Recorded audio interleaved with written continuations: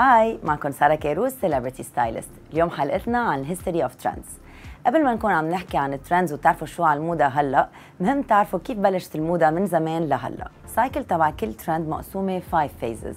بالأول ال introduction يعني بس نروح على ال fashion week ونشوف ال show ات أول شيء بتكون ال introduction نعرف شو هي الترند الجديدة على الموضة. أكيد بنكون عم نشوفها أول شيء بال show بعدين بنكون عم نشوفها على ال social media وعم تتداول بسرعة أكثر كل ما لها ترند بتكون سريعة أكثر من بعد ال introduction في ال demand يلي هو العالم بتبلش تطلبها لهال trends وبدها تلبسها.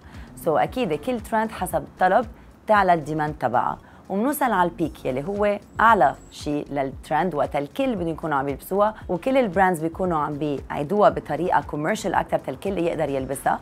من بعدها رابع phase بيكون صار في خلص decrease يعني الناس ما بقى عم تطلبها زهقتها بدها تروح صوب غير ترند ومن بعدها phase 5 اللي هي rejection يعني الترند انتقلنا منها على شيء ثاني لأنه بطلوا الناس حابينه.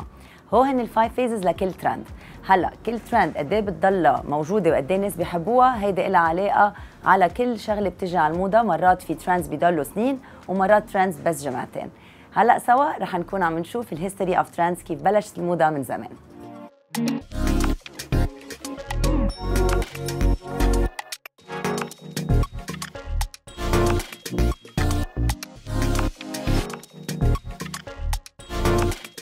بس نشوف trends على الموضة هلا. لازم نعرف إنه كله من أخذ من فقرة تانية من الوقت من حقبة وقت تانية.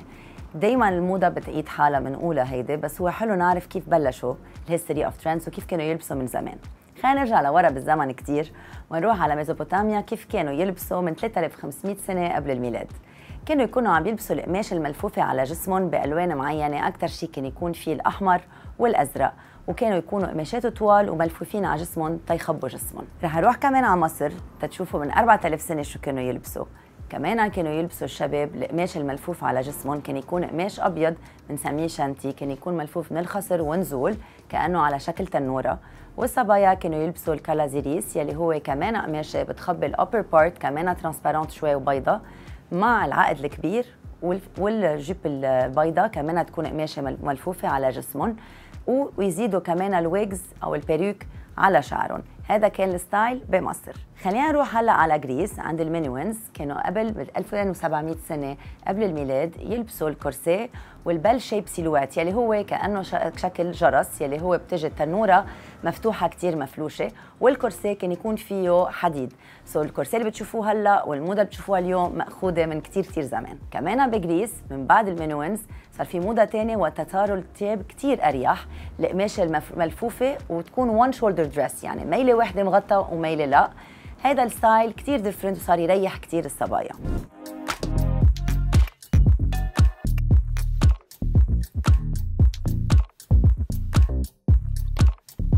هلا خلينا نروح على روما. هونيك تغير style ال one shoulder dress تبع Greece وصار ال toga tunic يلي هي كمان draped كمان رح نروح على ال Byzantine ال Byzantine كانوا يلبسوا style الكتير ornamental يلي مثل ما هو موجود بال architecture تبعهم كمان بتيابهم.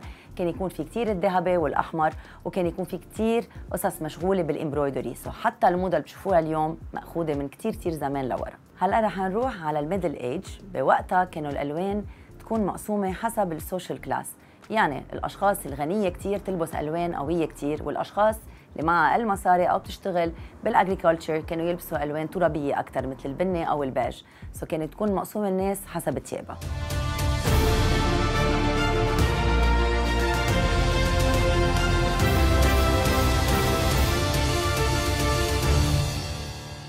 هلا رحنا على ال Renaissance يلي هو 16 century ال style كان كثير different الشباب كانوا يلبسوا puff sleeves يعني الجاكيتات اللي كثير عندها كتاف عراض والجاكيت بعدين بالضيق مع ال pantacourt اللي بيجي مزموم من تحت والصبايا كانوا يلبسوا الكرسيات عن جديد وال bell shape silhouette يلي كمان فساتين كتير كبار وانعرفوا بكل الفلوم اللي بنشوفها نحن من زمان قد كانوا يلبسوا فساتين كبار وفيها شغل كتير. من بعدها رح نروح على ال époque ال rococo اللي هو 18 century وقت صاروا الفساتين كبار لدرجة إنه اضطروا العالم يكبروا قياس الباب وقياس ال carriages تيساعوا الفساتين لأنه وصلوا الفساتين تقريبا متر ونص عرض من تحت هالقد كانوا صاروا uncomfortable و heavy للصبايا. وهون رح نروح على ال industrial revolution بال 19 century وين تغيرت كثير الموضة لأنه بطل بس dress makers عم يعملوا فساتين على إيدهم بطل في كثير tailoring اللي هو customized صار في أكثر ready to wear وبتشوفوا كيف تغيرت ال trends بهذا الوقت.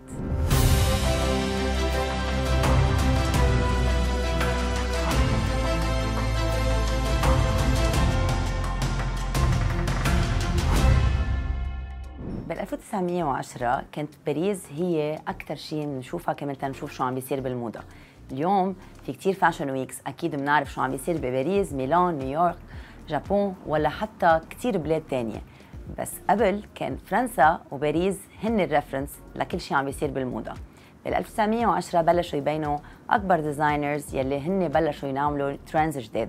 مثل لونفان أو بواري أو حتى فيوني خلينا نروح على 1930 كوكو شانيل بلشت تغير كثير قصص بالموضة وقت الصبايا قبل ما كانوا يلبسوا البنطلون كان دائما يكون في بس فساتين بلشت تعمل designs مع pants وتعمل فساتين كثير بيريحوا لأنه مثل ما شفتوا إنه قبل كانوا فساتين ابدا مش comfortable كان دائما يكون في وزن كثير وقياس كثير كبير بالفساتين كوكو شانيل راحت على قصص كثير loose وكثير بيريحوا وكثير straight cut وراحت صوب ال pants وقصص ال comfortable كمان ألسا سكاباريلي بال 1930 اشتغلت قصص كثير جديدة graphic prints قصص جديدة مثل ال lobster dress يلي كثير انعرف وراحت على قصص أكثر pop art أكثر فيها جرأة لتياب الصبايا.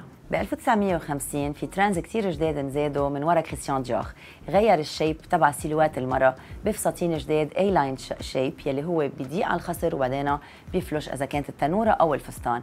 أو حتى عمل كمان style جديد trapeze shape يلي هو كمان ال sleeves وسعوا شوي ضيق الخصر وبعدين skirt بتنزل.